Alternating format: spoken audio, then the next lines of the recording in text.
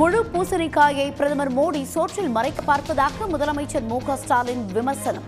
Petrol மீதான வரியை தமிழ்நாடு அரசு குறைக்கவில்லை என்ற புகாருக்கு காட்டமான பதிலடி.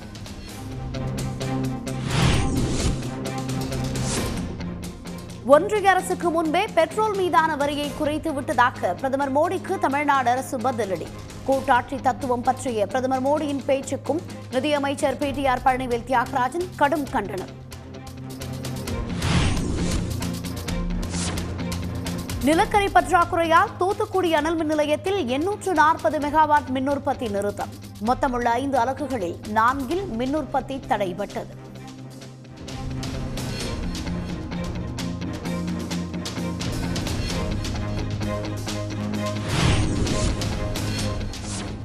ராஜீவ்காந்தி அரசு மருத்துவமனையில் தீப்பற்றிய கட்டடம் இடிக்கப்பட்டு அறுபத்தைந்து கோடி ரூபாய் மதிப்பில் புதிய கட்டடம். சட்டப்பேரவையில் மக்கள் நல்வாழ்வுத்துறை அமைச்சர் மா. சுப்பிரமணியன் தகவல்.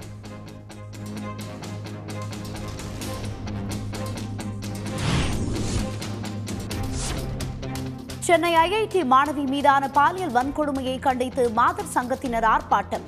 மாணவிக்கு தொல்லை கொடுத்த பேராசிரியர் மீது உரிய நடவடிக்கை எடுக்க வலியுறுத்தல்.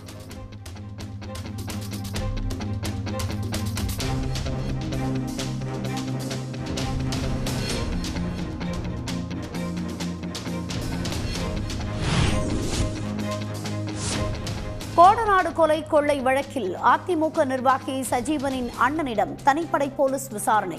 சஜீவனை இரண்டு நாட்கள் அளித்த வாக்குமூலத்தின் அடிப்படையில் நடவடிக்கை தீவிரம்.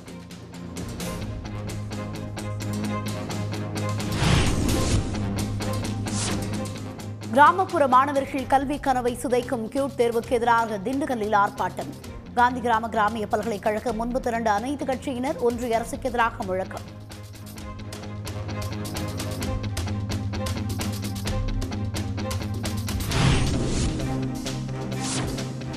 ஜெயங்கொண்டம் அருகே செபாஸ்தியார் ஆலய பெருவிழாவை முன்னிட்டு ஜல்லிக்கட்டு போட்டி.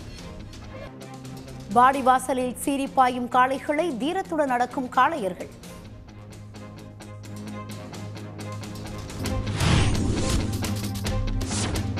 கால்நடை பராமரிப்பு உதவியாளர் பணிக்கான நேர்முகத் தேர்வு தற்காலிக நிறுத்தம்.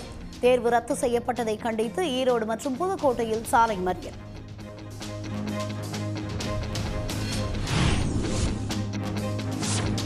நாடு முழுவதும் தினசரி கொரோனா தொற்று மூன்றாயிரத்தை தாண்டியது. கடந்த இருபத்தி நான்கு மணி நேரத்தில் மூன்றாயிரத்து முன்னூற்று மூன்று பேருக்கு கொரோனா தொற்று உறுதி.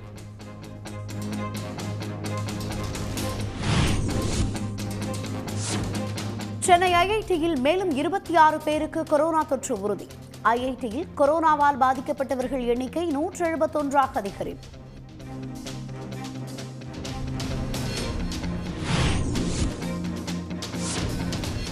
சென்னையில் பைக் ரேஸின் போது மடக்கி வைக்கும் வகையிலான நம்பர் பிளேட் விற்றவர்கள் மீது வழக்கு. ஒரு வாரத்தில் நடைபெற்ற அதிரடி சோதனையில் நூறு இருசக்கர வாகனங்கள் பறிமுதல்.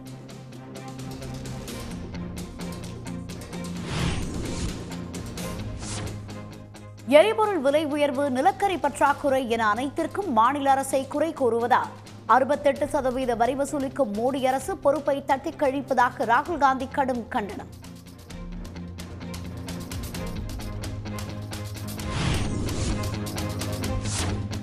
சென்னையை அடுத்த பெருங்குடி குப்பை கிடங்கில் பரவும் தீயை அணைக்க இரண்டாவது நாளாக போராட்டம்.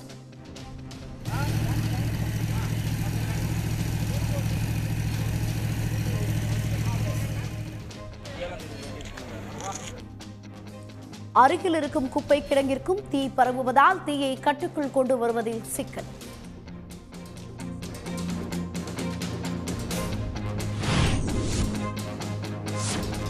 சேப்பாக்கம் தொகுதி எம்எல்ஏ உதயநிதி ஸ்டாலினுக்கு எதிரான மேலும் ஒரு தேர்தல் வழக்கு தள்ளுபடி. சென்னை உயர்நீதிமன்றம் உத்தரவு.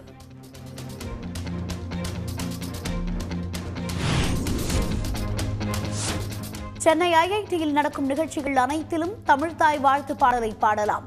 தமிழ்நாடு அரசு கோரிக்கையை ஒன்றிய அரசு ஏற்றது.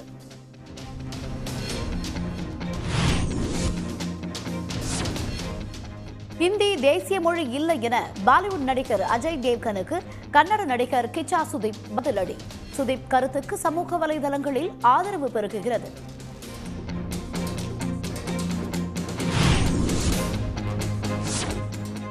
கோலாவை வாங்கி கொக்கைன் போதைப் பொருளை கலக்கப் போவதாக எலான் மஸ்க் ட்விட்டரில் பதிவு. சர்ச்சை கருத்துக்கள் எழுந்த நிலையில் நகைச்சுவையாக பதிவிட்டதாக விளக்கம். உடனுக்குடன் செய்திகளை தெரிந்து கொள்ள சன் நியூஸ் பெல் ஐக்கான கிளிக் பண்ணுங்க.